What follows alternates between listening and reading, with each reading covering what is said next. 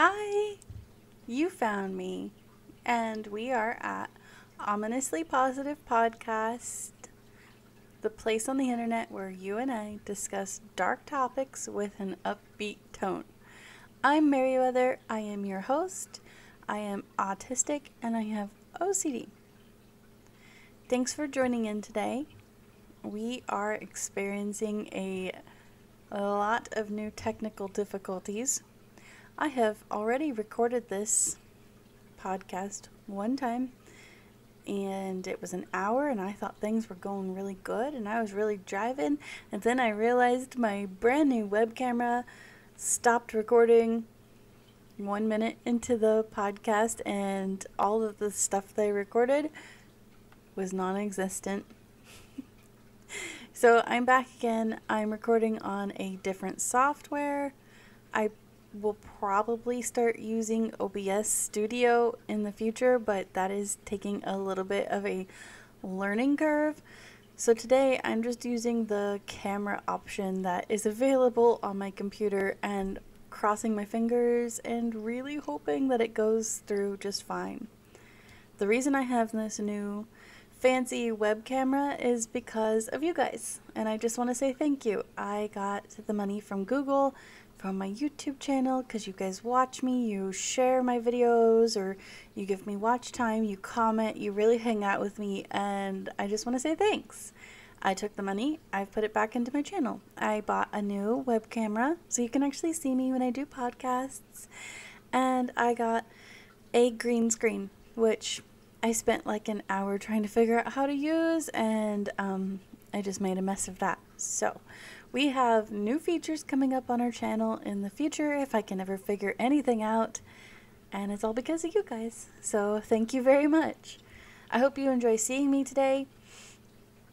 I hope my voice does not annoy you too much today. I have a bit of a stuffy nose due to allergies. And I apologize for that, but the show has to go on, right?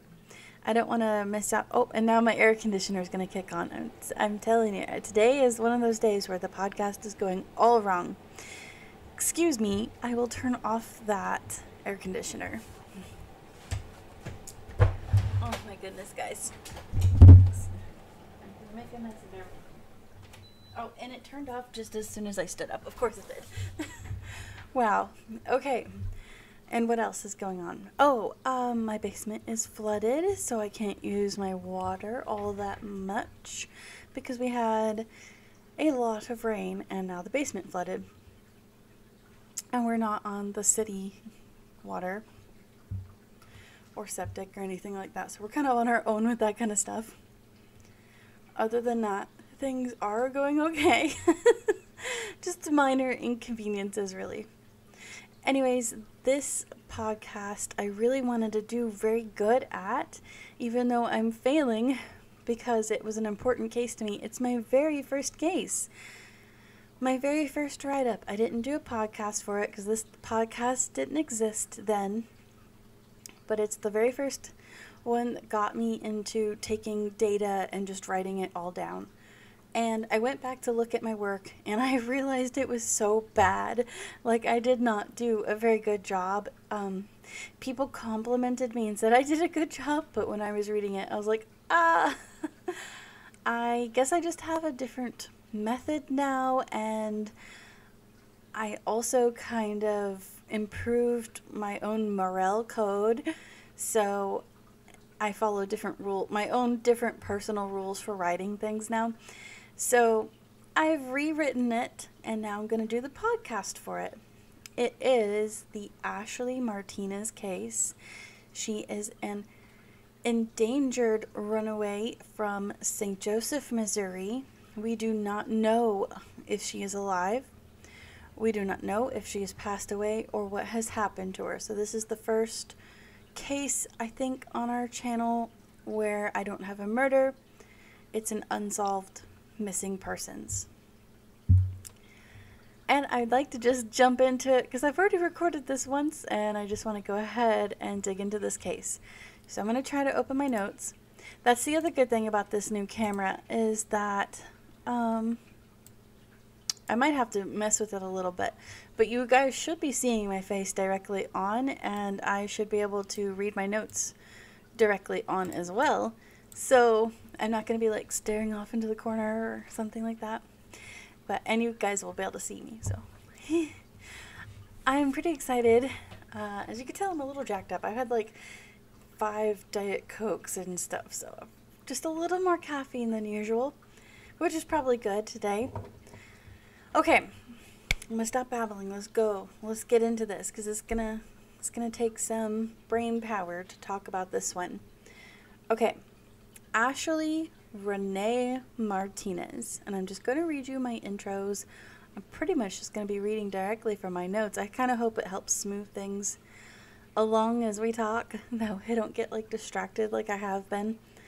So, Ashley left her medications, her brand new pet kitten, and a family that loved her, and vanished one sunny day at the local pool. Ashley was a bright and a funny girl, and there is hope that she could be alive today. I have a personal accord here. My deepest respect and regards to Ashley's family who have been fighting her for her from since day one. I hope that they get the closure that they absolutely deserve for this case.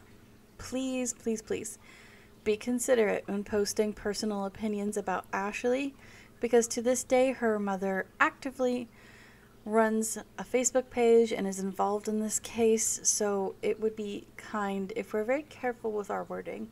That way we're not harsh, that way we're not cruel, unnecessary cruel, you know, and things like that. I just put that in there because I've run across a couple of, in my opinion, callous opinions on this case, and I think that there's really no need for that, in my opinion. I think we're all kind of on the same page. We're of like similar mind on this channel, so yay! I don't have to worry about it too much. I still just want to toss it in there though. So, like I said, I did rewrite this post. I think I did a little better with my organization. And as I always say, feel free to take and use my work as you wish. I don't care if you copy pasta my entire write up. I do not care if you take my entire podcast episode and post it somewhere else. Credit is always really, really nice because I do work very hard on these things, but that's not my goal. So, um, while I appreciate and I respect people that are like, hey, you worked hard, if you got to take this, take it. I mean, just take it.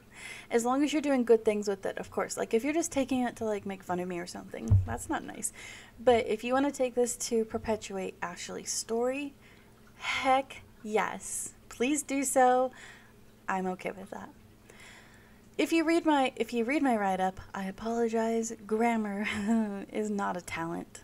If you listen to me, I apologize. Talking is not my talent. I have no talents. I'm not sure why you're here. Any well, anyway. Um so yeah. Thank you for being my friends if you are sticking here and listening to me, but I don't know. I don't ever feel like I'm that great. Anyway, um, enough about me. Let's go ahead and talk about the case. I know I keep saying that. I'm sorry, I drank too much caffeine. The story. Today is July 6th, 2004. So this case is cold, but it's not that old. And I feel like it really deserves more attention because time is of an essence. It was enough an essence then, it is of an essence now. It is a Tuesday, it's after the 4th of July weekend, and we are in the small town of St. Joseph, Missouri. St. Joseph is a historical town that is close to Kansas City, and it has a known history of criminal runoff from the bigger city. St. Joseph is also well known for its drug use, most often meth. It's not an all bad town. It does have pockets of really good community there, and a lot of historical value. According to the historical weather for the day, the high was 81, humidity of 81 degrees. It was partly cloudy, so it was a great day to go to the pool. And that's what everybody did. Around noon, Ashley's mother, TM, I just use um, initials now for people who aren't the victim or the suspect or baddies, basically, that are reported by the news baddies, not just whoever I feel like is the baddie. Um, or, uh, you know, like officially called out by law enforcement. If they're not officially called out by law enforcement, I'm I don't want to use their full names or anything. So, Ashley's mother, TM, took Ashley and her brother to the Krug Park pool and dropped them off. Now, before people get all sassy, I'm just going to say that this is and was a very common thing for the parents to do in this area. Pretty typical, very normal, sort of a thing. Ashley's family also stated that this was an activity they did pretty often, so typical for them too. Typical for the area, typical for them. The pool, even though it's called the Krug Pool by the locals, it's actually the Northwest Complex. So if you're looking it up on maps or something, it's the Northwest Complex. And it is across the street from the Krug Park, which is a very big historical park. The pool is operational to this day. It has very little layout changes. I have noticed landscaping began maybe about 2019 in the area. The pool has its own small little park next to it and kind of behind it. And then, of course, the big park is across the street. At the time, in 2004, Ashley would have been 15 years old and her brother was 13 years old. TM said they returned only a few hours later and Ashley was gone, but her brother was there. Ashley was supposed to have been keeping an eye on her younger brother TM later say, states that she wishes she had reversed the roles that day. Ashley's brother, friends, and a couple of other witnesses all said that Ashley left that day on her own accord with a friend of hers. Ashley's best friend, TBK, said that she thought Ashley was just running to the convenience store. I did put a note here that Ashley's little brother didn't remember any details at first, but started remembering details a little bit later. He was only 13, so I think we can let that pass. And he was probably wrapped up on like what he was doing that day. I mean, yeah.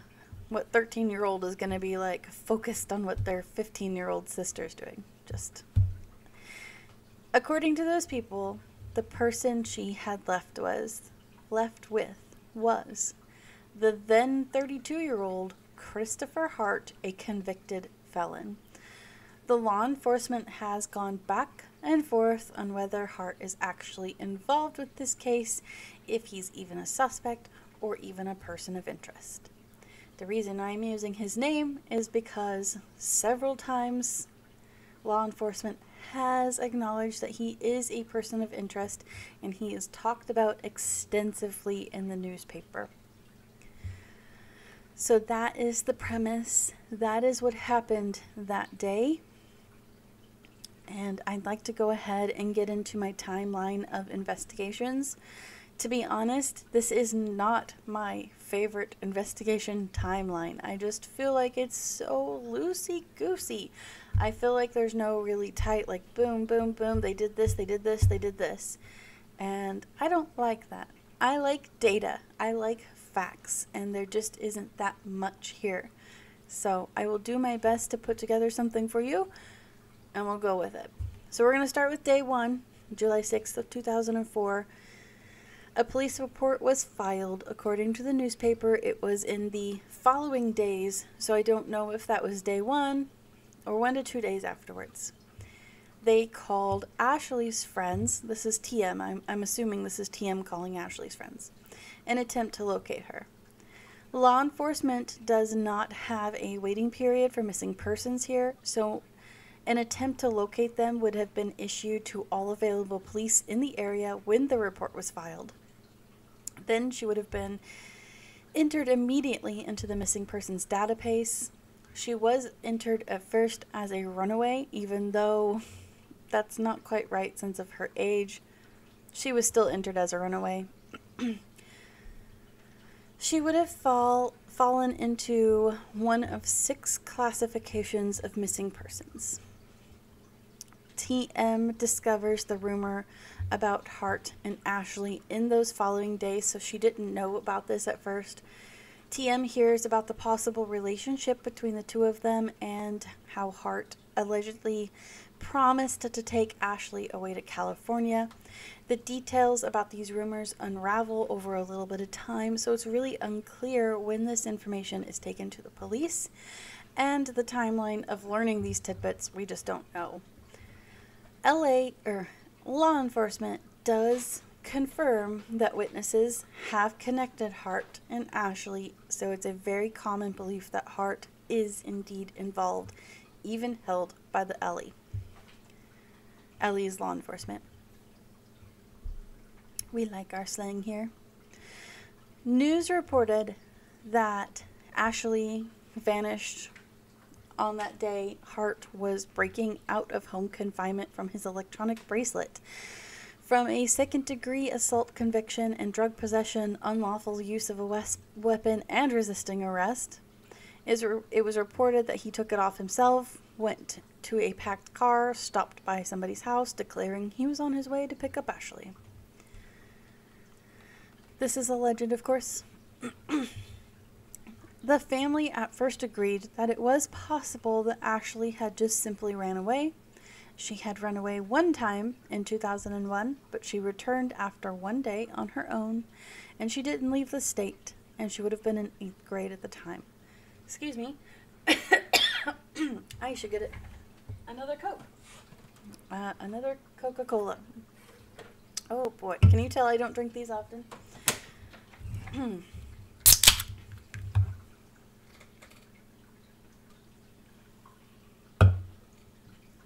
Not sponsored. Okay, so I I put a note here for myself. I put I'd like to know what her pattern was so that we can compare it to the one now. Did she pack anything at that time? Did she run away with anything? Did she leave a note? Did she give a reason? Who did she run away to? Just a pattern that we can try to measure up to. Ashley's family was reportedly very close knit, and there seems to be no obvious reason for her to leave them besides maybe not wanting to follow house rules.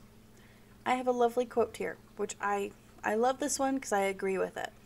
Quote, Nobody would walk away from 15 years of your life and never call anyone, never have contact with anyone, no friend, nobody. That's so that right there is extremely scary.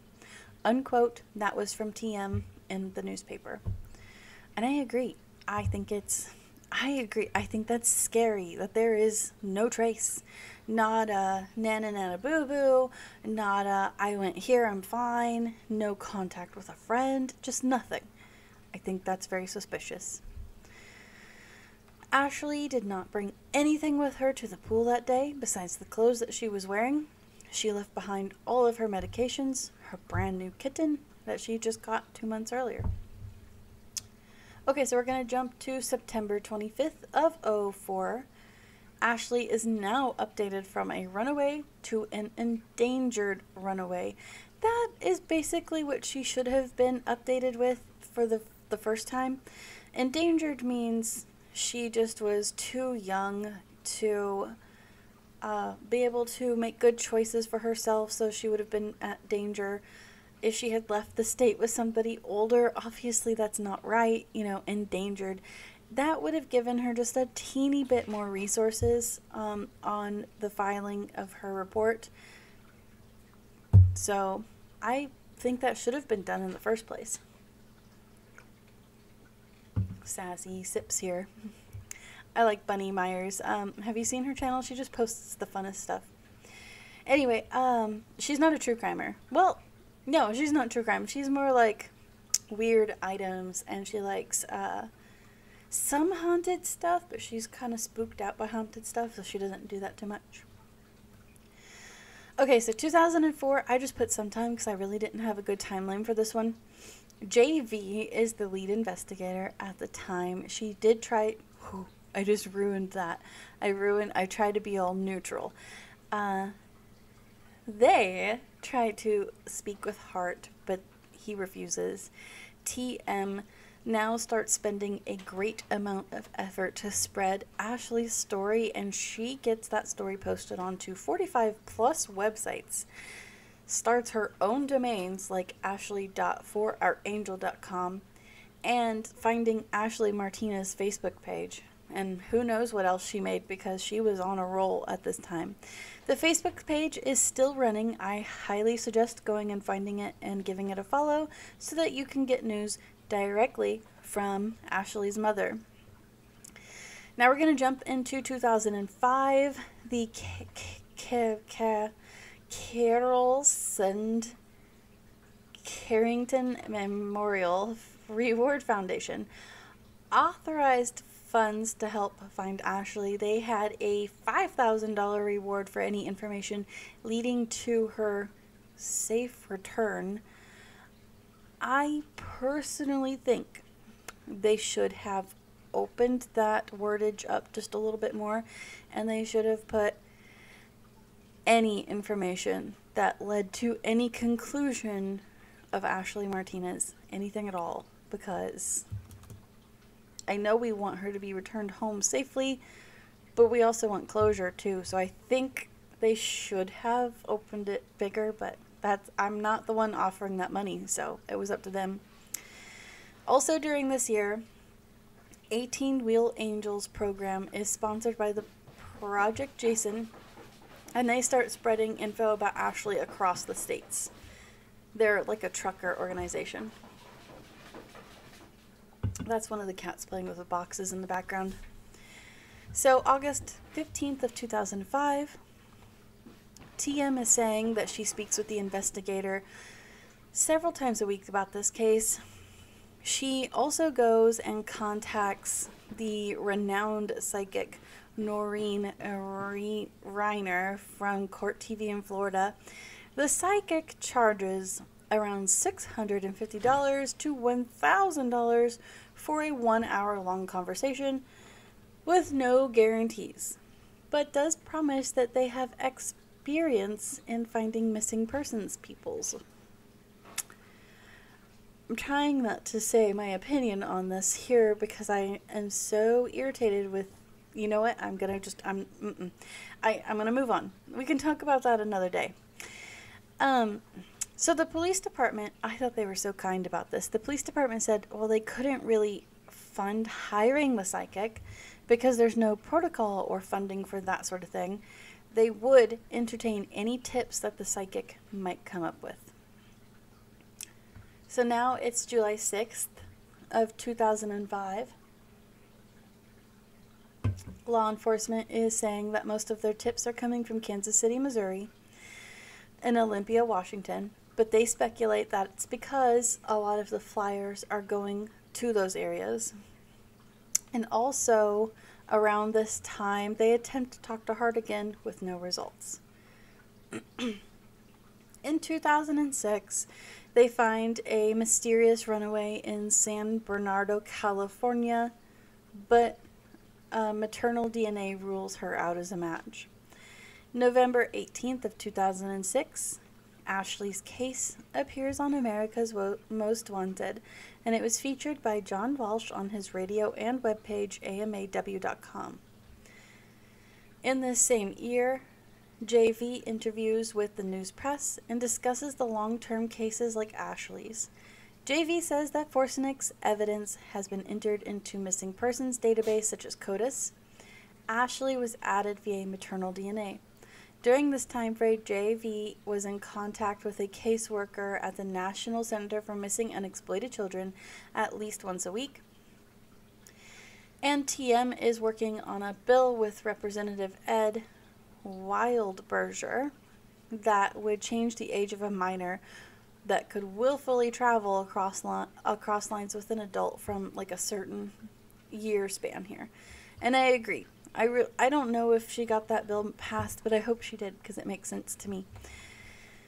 At this point in time in Ashley's case, it has garnered about around 100 tips. Now we're going to jump into 2007.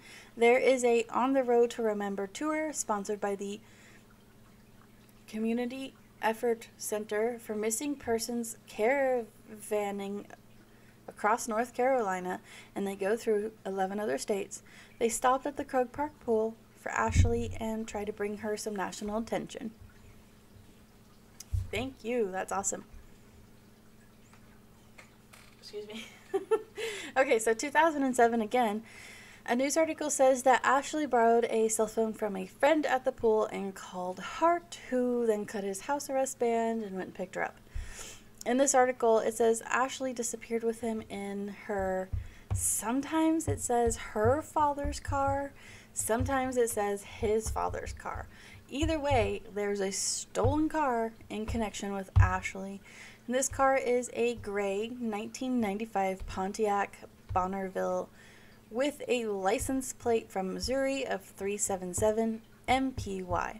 I have the VIN number too if you want to look at my writing post. This car has never shown up again. Even though it's kind of a unique car, it was only made for a certain amount of time. Never seen again. It's possible that Ashley might have gotten into a maroon car, but that's just a rumor.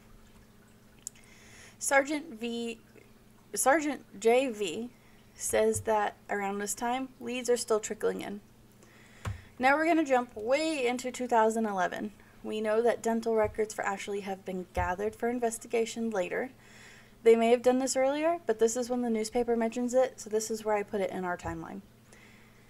It also starts to mention that missing active missing cases are reviewed every five years, and they look into it for new leads. So at least we know that they are going to revisit her case every five years as long as it stays active. Now, let's see. We're jumping ahead again. We're in July 2014. So we're switching detectives now. It's Detective Sergeant JP.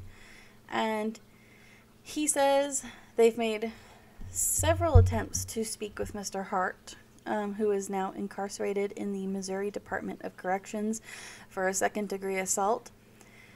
And according to this detective, they confirmed that Hart was a POI, person of interest, but not the sole suspect. Basically, I think they were like, yeah, I know it kind of looks like he's the only guy, but we should probably say that he's not the only one, you know, because they they don't want to pigeonhole this, so they were kind of broad with their terminology here. In the same year, Kansas City Star paper posts that the same detective says Hart remains a POI in the case. They also say that they are getting emails from around the country of missing Jane Doe's bodies, and he does do matching for DNA and it rules them out almost every time. Now we are jumping all the way to 2017. According to TM, the LE did try to question Hart, but he is not cooperating. TM says to her knowledge, they've talked to him only twice. I actually think it might be more by the way they've talked about it in the newspapers, but she's confirming that at least they've attempted two two times. Now we're going to jump to June 13th of 2017 and we start getting a little bit more activity here there is a sudden search that happened on the north side of St. Joseph in the area of Huntoon. It's H U N T O O N Road and West Highland Avenue.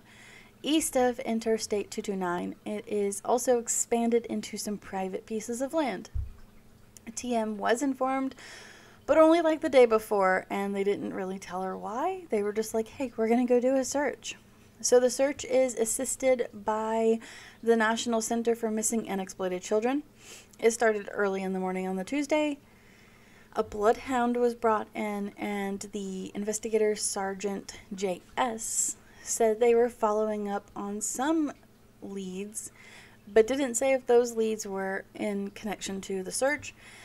And there was a mention that this was caused by historical, like a historical lead.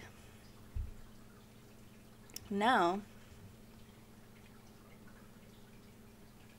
for some drama, if this wasn't already dramatic enough, this leads to a buzz on social media. and then, not too many months afterwards, a woman named J.W. comes forward in the news. She claims to be Christopher Hart's cousin. JW claimed to see the two together prior to Ashley's disappearance. JW talked about um, Hart allegedly saying that he met a girl and they were going to Oregon. He also said he was going to get her from the pool the day she vanished. And JW said she was going to go with them, but then chose not to later because she got a bad feeling after going on a walk with Hart in the woods. He told her stories about being in that same spot with another girl, and the conversation made her feel uneasy. The walk was in Northwest Parkway, only two miles from the location where it had been previously searched a few months prior. Law enforcement had not heard this story before, and at this point, the news press attempted to contact Hart and or his legal representatives with no results. But the drama doesn't stop. I've got a note here. JW, the alleged cousin of Hart, but she has a reputation in the community for involving herself in other cases where she may have lied. The community in general views her as a drug user with mental health issues.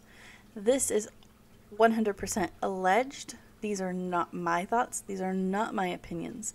They are all rumors brought up by common public knowledge on this case. So I do not mean to harm or defame her in any way. I'm just bringing up data.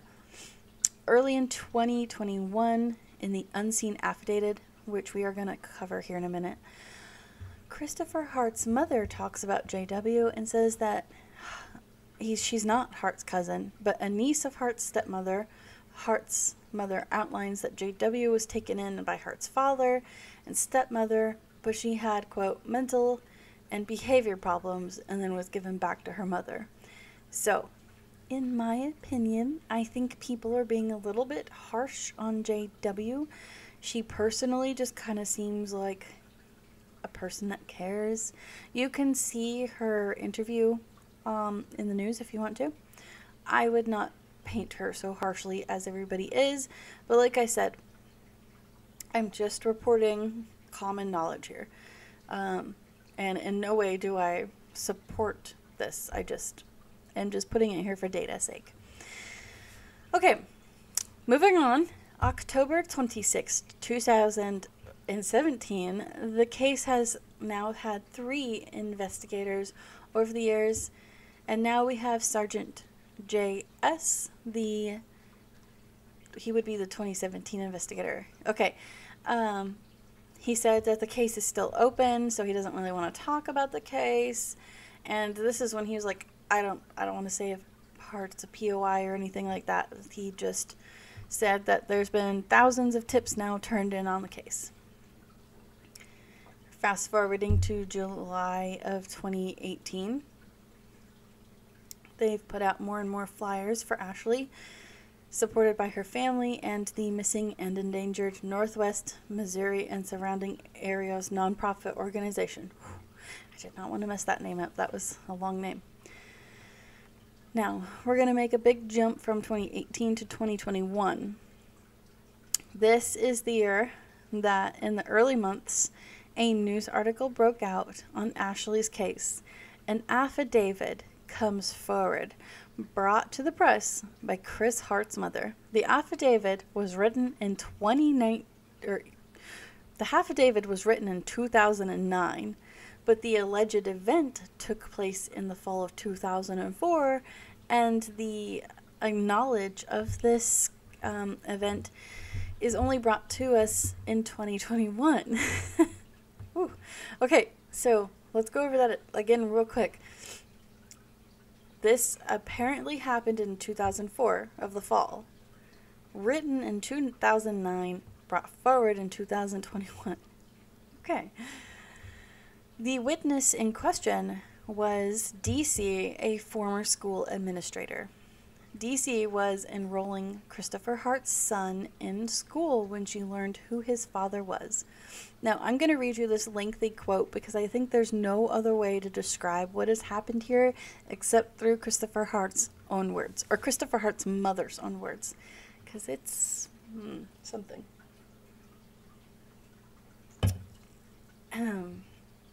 quote, literally jumped up from her chair and slapped her hand on her desk and said that she knows Chris did not take Ashley Martinez as she had seen her that September 2004 with a big black man out by the highway. She said that they waved at each other. I asked her if she had informed the authorities, and she said that she had. She told me that they told her she was mistaken, but reiterated she knew it was Ashley as she was vice principal at the redacted school where Ashley went to school and that she had many, many dealings with Ashley. Also, she said that Ashley had on some of the same clothes that she had seen her in at school. Unquote. That's from the affidavit. Now, if you go and read this affidavit, highly recommend that you do. It outlines that DC saw Ashley standing on the northeast corner of Frederick Street and Leonard Road with a tall African American male. She was wearing clothes and a t shirt when she turned north on Leonard Road and waved to DC. DC calls juvenile or the police, she doesn't remember, after the sighting. DC saw them again after her errand, walking down Frederick and across the highway bridge. The affidavit was prepared by Hart's then lawyer at the time, but I guess he quit the job. I don't know. And then the second article comes out a couple months later, and the law enforcement reiterates that Christopher Hart is still a person of interest, and they have statements that associate the two, Ashley and Hart. And J.S., the investigator, was surprised by this affidavit. The lawyer at the time could not recall if he had even turned his affidavit over to the law enforcement. Police were able to confirm that they did speak with DC before, but not about this affidavit. Now, here's the drop in the bucket because Hart, who has never spoken a word on this case and even had bizarre behaviors when he was asked about Ashley, decided now was the time he was going to speak up. And he went and decided to do an interview with the news press. The news press goes out there and they report that he takes up most of the two hours talking about unrelated or semi related legal matters. Currently, Hart is would you move off the keyboard? Katza? There's a cat sitting on my husband's keyboard and making it make noise. And then he's looking at me like it's my fault. Okay. So let's get back to this. So Hart is currently um he's in St. Joe, I believe, in the in the prison there. Currently, he's being held on unlawful use of a weapon and domestic violence charges in a case unrelated to Martinez. If you read the affidavit, you'll know what it's for. Hart did finally talk about Ashley, but he only had these cryptic quotes, and I'm, I'll tell them to you now. Let me get into my person of interest voice. Quote, but I guarantee you, you this, I have nothing to do with her disappearance. And if I knew of any way possible of anybody, guaranteed I would not hold information back. I don't care if it was my own mother at this point. Unquote. Hart is uh, currently writing a book called Person of Interest about his time as a person of interest. Quote, I'm going to give everything I've got in this book, including whether or not I even knew Martinez on a personal level. Unquote. I suppose uh, the news press said he went on to claim that he had more evidence in the Martinez case and that his mother wasn't even supposed to bring that affidavit to the news press. But it is what it be. A cat's doing it again. I'm to ignore it. Currently, no arrests have been made in this case at all. So, that's the investigation timeline. I have a few more articles that we can go over here. Um, we can go over who Ashley Martinez is, was, and what she was wearing those days, and what she looked like um, to kind of help find who she is. Then we can cover Christopher Hart and some of his history and a little bit about him, cover some rumors and things like that, and conclude the case. So let's jump into Ashley and her profile here that I've made for you guys. So, Ashley Renee Martinez. I've seen her name spelled Ashley R. Martinez. Ashley has no alias names. I don't know if she has a preference for spelling her name a certain way. She was born January 24th, 1989, and vanished July 6th, 2004. She was about 5'3 and 110 pounds with blue hair. No, sorry. She was about 110 pounds with blue eyes. Her natural hair color is a sandy blonde, and she is Caucasian. She does have a scar or scars on her left arm slash wrist. She was wearing blue jeans and a short, a black top that might have had red cherries on it, red or white Reebok tennis shoes with red accents, which was a size 5. She has tiny feet. Ashley's tongue, navel, and ears were pierced, and she had a ring with two hearts joined together. That ring was a gift from her mother, by the way. I was curious about it, so I kind of sleuthed it a little. She was also wearing a black bikini with red cherries um, underneath her clothes. That's why I was like, I don't know if her shirt had red cherries on it too, or if it was just the bikini. I'm not sure if people got that mixed up or what, but. Ashley was reported to have bipolar disorder and is supposedly to have left her medications behind. She might have even had an inhaler for mild asthma. Ashley could have mood swings, impulsive, and potentially risky behaviors when she was not on her meds. So, let's get into more about who she is. So, she liked to smoke cigarettes, menthols, partied, she took a partook of marijuana a little bit.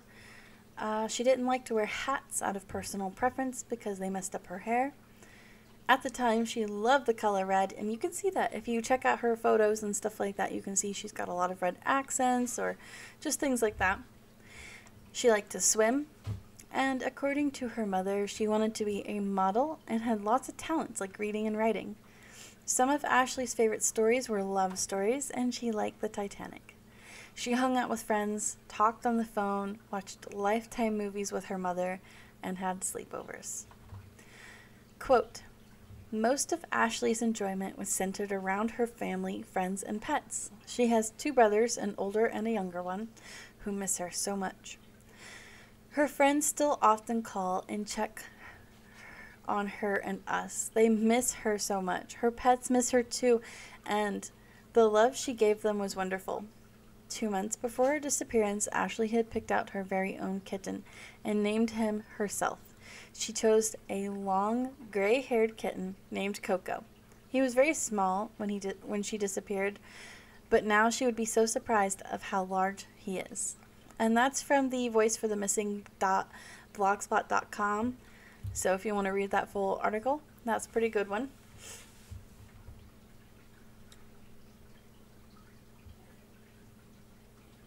Let's see, other important personal things about her. Her favorite re- restaurant was Red Lobster. Ew. Uh, McDonald's. That's not bad. Favorite foods are crab meat. Girl, ew. What's up with the seafood? Vegetables, corn, peas, potatoes, tacos, and pizza. Lastly, her favorite junk foods were Doritos with cheese. That I can agree with. That is a good that's a good junk food choice mint chocolate chip ice cream, and Reese's peanut butter cups. Quote Ashley's mother describes her as a beautiful girl who loves to read and has a great sense of humor. Unquote. This was from the ncmissingpersons.org, but it has a 401 404 error now from that website. So Ashley had um a lot of family actually. She has a lot of family, and they got together often, and still get together, and they do honorary services for Ashley. Uh, the most recent, I want to say they did like a balloon re- release, but they also did like I think one of my favorite things is they planted her a maple tree because it's got red leaves uh, near the pool.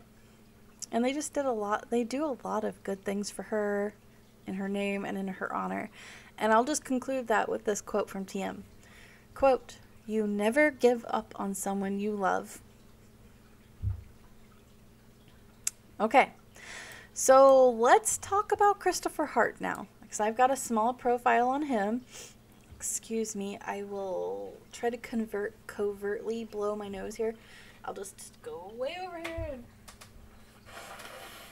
That wasn't very covert. I'm so sorry. I feel like a goblin today. I do. I feel so gobliny. this is why I don't turn the camera on. Like the very first time I turn the camera on, I've got like allergies and like. Uh, sorry. I'm so sorry. okay, so Christopher Hart.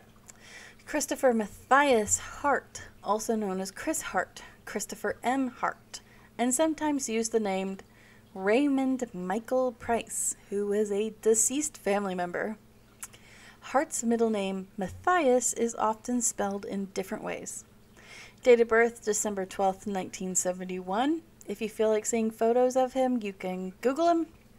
Lots of them come up, um, as well as news articles about his arrests.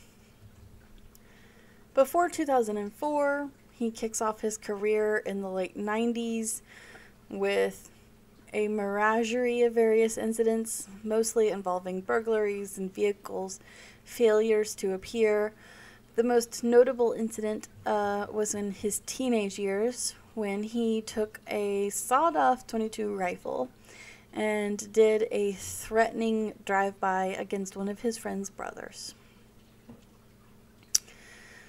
According to the news, well, we already talked about that. Yeah. Okay, so the the thing where they were talking about how he cut off his electronic bracelet thing, I did notice that they didn't ever say when he cut that bracelet off. They just said he did it, and they implied it was the same day as the pool thing. Hart did live in the same neighborhood as Ashley Martinez, according to the news and TM. So that kind of puts a little credence towards that uh, uh, relationship theory. Only 11 days after Ashley's disappearance, Hart was arrested in Olympia, Washington for purse snatching. He gave the Washington official, officials the false name Raymond M. Price, and as, as a result, they did not know he was wanted in Missouri. He was released from the Thurston County Jail, and he had a warrant under his false name. So he was living pretty up there for a little bit. And then September 7th of 2004, he's arrested 2 months after that, after that disappearance. And Hart's landlord and neighbors say that they never saw a female with him. He lived with a cousin, and that cousin said he never mentioned Ashley. Um, Hart was then extradited back into Missouri once they figured out who he was, you know. And all of a sudden, he started acting really bizarre and refused to talk about Ashley at all. Bizarre enough that they, uh, well, he was convicted of drug possession and unlawful use of a we- weapon and resisting arrest. But then they sent him to the Western State Hospital for mental evaluation prim- prior to his rearraignment in court. So that was around 2008. So he'd kind of like sat in prison for a while. But then he was released in August 2015 um, on probation, where he tried to live with family in St. Joe, I believe. He was then reincarcerated in September of 2015. So, not that long. Um, he wasn't out that long. And then in 2019, in September, he was released on probation again. So the timeline gets a little unclear here, but as of 2021, that's this year. That's this year. Hart is in the Buchanan County Jail awaiting trial for domestic violence and unlawful use of a weapon. He's currently working on that book, and this is when the affidavit comes out and stuff like that. So, the affidavit covers uh, Chris's Hart's mother's character perception of Hart from her perspective. I will just drop this little thing here. He attempted to save his son from a civil, similar, from a lifestyle like his, um, but quote, Chris ended up doing drugs and doing crimes with redacted. Um, that's from the full affidavit. Then him and his son became hostile with each other, and it came to a head in sometime around 2019. Um, I put a note here about Hart's son, DH, because it was included in the affidavit, and there there's some weird points here that I just wanted to talk to you guys about. So, Chris Hart's mother mentions that DH began to use serious drugs in 2014. DH suffered from mental and drug issues for years, according to her. And during a drug fueled high, he came home talking to her about the Mexican cartel from the South End that he owed money, how he became friends with Ashley's brother, who said Ashley overdosed in a party in a field near her house and then DH, he he grew up under the shadow of his father, basically in connection with this case. So I'm sure it had an impact on him majorly. And 2019, his relationship started to sour with his dad. He goaded his dad. He attacked his father over the possible involvement in the case. Um, and then they got into an altercation at Hart's mother's house. This is where the charges are applied from DH to Hart and he refuses to drop those. He told Hart's mother, quote, He knew that I knew what his father had done and that I was protecting a murderer. This broke my heart. So this is all from the mother's Hart's mother's perspective. So just an interesting note there. Okay, we're getting close to the end, guys. We've got rumors. I've only got one. Uh, some people think that Ashley might still be in the surrounding area uh, because there was possible sightings of her at one point. I only put one rumor there, even though there's some ones out there that I think are a little far fetched. There's one like, oh, he put her car in the Missouri River. I don't think that the car would stay hidden in the Missouri River for very long. Um, so I didn't put that rumor in, but I guess I just did. Anyways, let's pop off to the loose notes. Speaking of the car, where is this unique car? The rumor is that it was reg- registered to Chris Hart's father. Um, some say Ashley's father. I do think it's interesting that Hart has a, a history of tampering with vehicles, though. Uh, is there any tangible connection between Hart and Christopher besides those witnesses? I don't know. I'd like to know what the trafficking lines are for humans in Missouri, Washington, and California, and what it might be like along the way to get somebody from there to there. The cat is distracting me so much. Um, I would like to know if there was any evidence of the two of them traveling at all, or even Hart traveling. How in the world did he get to Washington? Uh, and people don't know what car he went in or anything like that. I'd like to know this. Does Hart have a history of relationships with younger people? Or is Ashley? Because Ashley, that would might establish a pattern at least. Did Ashley was she taking her medicine like she was supposed to before she disappeared? Because that might change the investigation a little bit too. Because maybe she just like wandered off. I don't know. Ashley allegedly told her friends that she was planning on running away, did she give them a motive? So, those are some of my thoughts. Now, let's talk about some of the common theories around this case. The number one theory is that Chris Hart convinced Ashley to leave with him to California on her own accord And there's no motive. People don't put a motive here. Besides, maybe they actually were in love. I don't know. Um, however, why would she leave her stuff? I don't get it. The next one is Hart lied to Ashley about taking her to California and then sold her to like human trafficking or a drug den. I think that one might be more plausible because we know it looks like from the affidavit that he used drugs. Looked like he maybe sold them. We don't know for sure, but that could be a motive. Hart picked uh, the oh, so the other one is Hart picked up Ashley to do drugs with her, and they went to a wooded location or something like that, where something went wrong. This theory is based off the common knowledge that in St. Joseph, drug users often just go walking in the woods to do their thing. So, uh, the other one is the party and overdose theory. That's based off the DH's rant. The other theory is that Hart had nothing to do with Ashley's disappearance, but because of her impulsivity, she got into a car with a stranger and was actually abducted. Um, that's, I, I don't know. Lastly, Ashley chose to run away and just cut all ties. But I would counter how would she stay so secret for so long? Why not have any contact with anybody? And not take anything at all? I don't know. So that wraps up I mean, that wraps up the case we're talking about. We've got a little bit of a conclusion. There's not much we can conclude here. If you have theories, actually pop them in the in the comments below, because it, this case is so dry. Why not? As long as they're respectful, of course.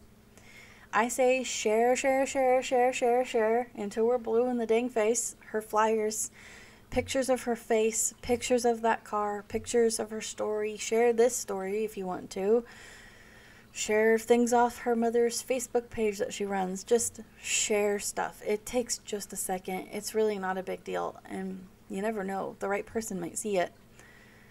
Um, if you have a tip, send it in to Crime Stoppers or to the St. Joseph Police directly at 816 271 4777. If you want to do Crime Stoppers, they you can do it online, you can do it on an app, you can call them. So, then that you can rename like be anonymous if you want to. Do not put real tips in the comments though. I mean, theories are totally cool, but don't put your tips down there. I'm actually turning in tips on this case. I have come up with two actually, and I'm turning them in um, pretty much as soon as I post this. But I don't want to say them because I don't want to ruin anything, you know. And they're real, they're just small things, but just still, if you're gonna post a tip, not don't do it to me. Do it to Crime Stoppers, okay? Or something like that. And actually, if you are alive and you are happening to watch this or you're following your own case or something like that and you are a part of human trafficking, please call this number 1 888 373 7888 and see if they can help you out or just start putting yourself out there a little bit to see if people can find you on the internet and then help you. Gotta do something, girl, if you're still out there. And uh, uh, I say we we don't give up hope for Ashley. I say that we keep going. So, everybody share. Okay. Thanks for listening to me today. I really appreciate it and I hope that you liked hanging out with me, even though I was really weird today. I don't know. And, uh, sorry this is a bit late. I know I'm posting this a day late. Um, yeah, it is what it be. So my next case is also going to be in Missouri because it's going to be my second case. I am going to do Linda Sherman's skull. So, and I had done a super deep dive of this case. So we'll do a super deep dive next time I talk to you, okay? Alright. This is Merry out. Bye, bye, bye, bye.